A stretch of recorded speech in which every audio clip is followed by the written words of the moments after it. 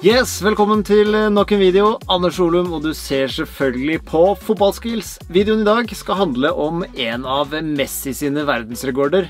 Mulig han har flere verdensrekorder, men det er en rekord hvor han trikser ballen, skyter ballen opp i lufta og tar den imot på andre sida. Og så går den over et sånt skilt, da. Så planen i dag, eller det vil si planen i går, var at Mathias og jeg skulle prøve å slå, eller ikke slå, men klare det samme, da.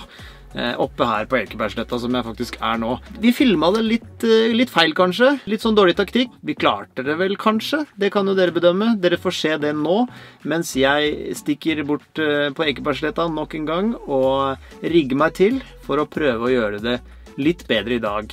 Ja, Før vi fortsetter videoen, så vil jeg bare si at du kan klikke deg inn på asun.no og bestille trikseball eller triksesko. Ja, Mathias. Velkommen tilbake. Takk. Har du tro på at vi klarer det her i dag? Vi er ikke dårligere Messi. Nei, I hvert fall ikke på akkurat sånne øvelser som det her. Nei. Så jeg vil si at 10 meter, det klarer vi i hvert fall. Men eh, kanskje vi bare skal gå rett på 18 meter. Ja. Og så ser vi om... Det blåser en del av det skal ja, sies. det, Dere hører det kanskje på mikrofonen, men det blåser veldig. Det dere skal gjøre nå, før vi setter i gang og prøver på det her, det er at dere kan gå inn på både Instagram og TikTok og følge Mathias. Han har kommet seg på sosiale medier. Så da er det, er det du heter? Riksheim 91. Riksheim91. Jeg skriver det på skjermen nå. Så bare klikk dere inn og følg han, så må dere gjerne følge meg på TikTok òg. Så kommer vi til å filme litt ting sammen fremover og tagge hverandre. Så da er det Yes. bare å følge med der, vet du. Det blir bra. Det er der som Messi hadde rekorden, da. Det er 18 meter. Så vi må liksom over drona der nå for å slå Messi.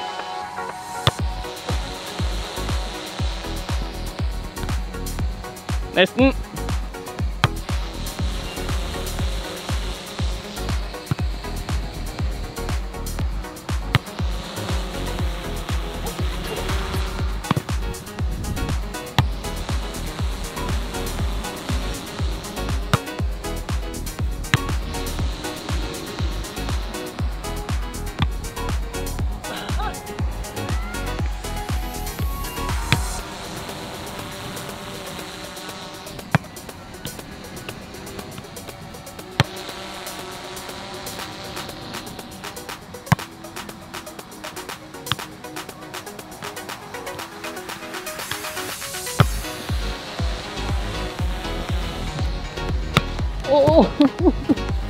Ja, nesten.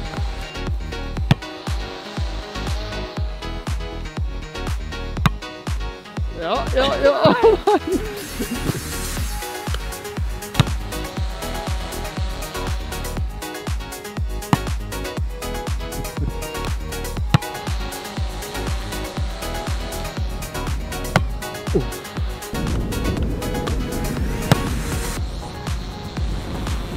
Det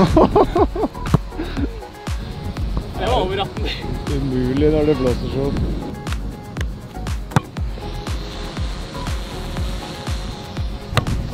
Å, å ja da, ja da. Det var ikke så høyt, tror jeg. Var den kanskje ikke høy nok?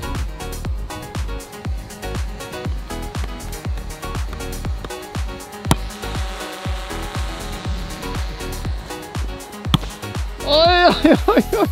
Den hadde jeg ingen tro på at du kom til å klare. En til. En til.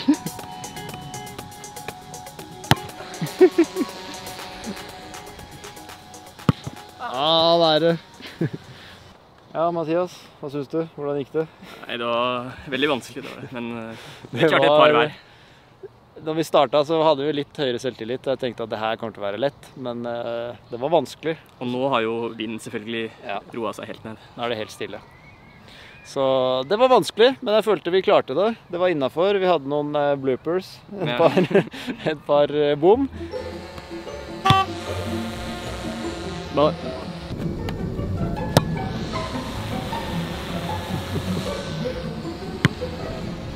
Oi!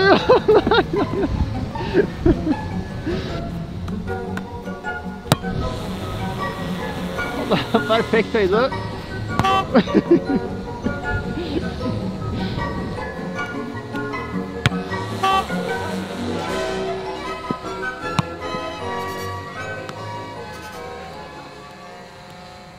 Så i går så feila jeg litt på taktikken, rett og slett. Vi prøvde jo å fly drona opp på forskjellige høyder, og så prøve å skyte ballen over. Men på de kameraene vi hadde, så var det veldig vanskelig å se hvor høyt det var, egentlig. Så planen nå er at jeg skal sette det kameraet her, og så skal jeg fly opp drona på 18 meter, 15 meter og 10 meter, og rett og slett se på skjermen hvor det er, og merke det av. Sånn at vi vet hvor høyt jeg skyter hver gang. Eh, ja, så det er planen. Jeg tror, altså, det her kan du jo velge litt sånn forskjellige taktikker, om man skal skyte, eh, treffe med foten, rett på, innside, kanskje hælen eller sånt. Men jeg tror bare vi prøver litt sånn tilfeldig i starten. Eh, ja. Ok, det er 18 meter. Det er ti meter.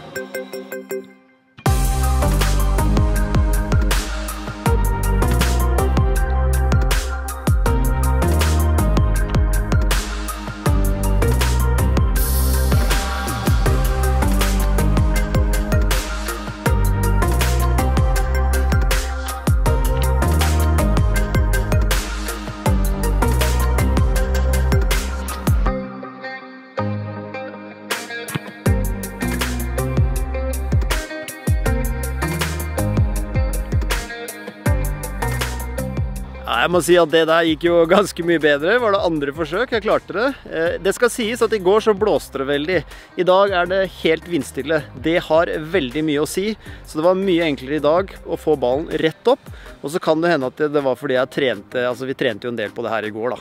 Så nå skal Nå er jeg egentlig fornøyd. Kanskje jeg skal prøve Jeg vet ikke helt hvor høyt det var, da. Men jeg tror det var høyt nok. Det får jeg jo sett i redigeringa eh, hvor høyt det var. Om det var over 18 meter. Det var i hvert fall 15 meter, tror jeg. Så jeg tror jeg skal prøve litt eh, videre, og bare prøve å skyte så egentlig nesten så høyt jeg kan. Eller ikke så høyt jeg kan, men i hvert fall så høyt jeg kan med kontroll. Og så skal vi prøve på, på hælen, da, hvis eh, sjansen byr seg. Ja, jeg tror jeg skal prøve på det, jeg. Prøve å ta et eh, hælspark. Yes.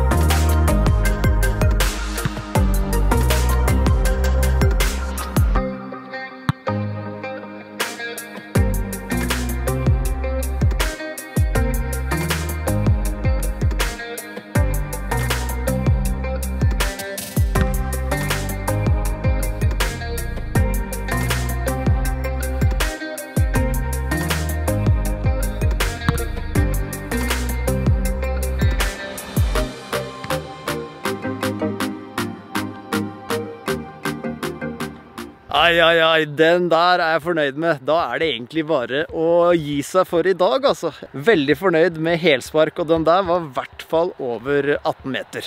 Helt sikker på det. Jeg skal skyte hardt. Litt.